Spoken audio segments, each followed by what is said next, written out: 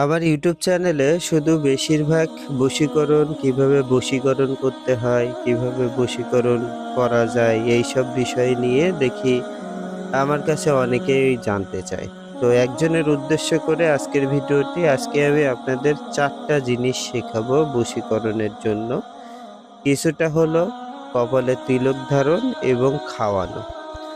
তো প্রথমে আমরা খাওয়ানোটা শিখব। কীভাবে আপনারা এটা করবেন সেটা হলো আপনাদের একটা এই জন্য একটা মন্ত্র জানতে হবে এবং আপনাদের যেটা করতে হবে সেটা হলো, সহদেবীকে ছায়ায় শুকিয়ে এই যে মন্ত্রটা আছে, এই মন্ত্রটা তাতে পড়ে ফু দিয়ে তারপরে সেটা শুকিয়ে শূন্য করে এই- এই শূন্য করে শূন্য পানিতে দিয়ে যাকে খাওয়াবে সে তার বশীভূত হবে।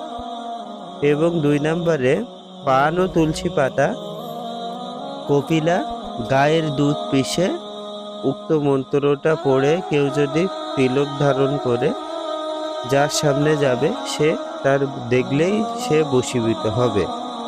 এবং তৃতীয় নাম্বার, হরতাল, অশ্বগন্ধা, সিন্দুর ও কলা এই চারটি দ্রব্য একসাথে পিষে সেমভাবে নিজের কপালে তিলক লাগিয়ে যার সামনে কাছে যাবে, সে তার বশীভূত হবে। এবং চার নাম্বার নাগর মাথা হরতাল, আপনার মৌনাশিলা, কুমকুম ও কুট। এই দ্রব্যগুলো নিজ হাতের অনামিকা আঙ্গুলের রক্ত দিয়ে পিষে এবং নিজের কপালে তিলক ধারণ করলে আপনার যার সামনে যাবে, সে ব্যক্তি তার কাছে গেলেই এছাড়া আপনার অনেকভাবে এগুলো করা যায়। অনেক গাছের শিকড় আছে, অনেক মন্ত্র আছে, নকশা আছে আরও অনেক নিয়মকানুন আছে। সেগুলোর মাধ্যমে এটা করা যায়। তো আমার কাছে শুনতে চেয়েছিল, তো তার জন্য এই চারটি নিয়ম আমি বলে দিয়েছি।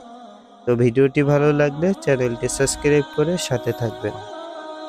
উপকারের জন্য করবেন, অপকারের জন্য কেউ কিছু প্রয়োগ করবেন না। ধন্যবাদ।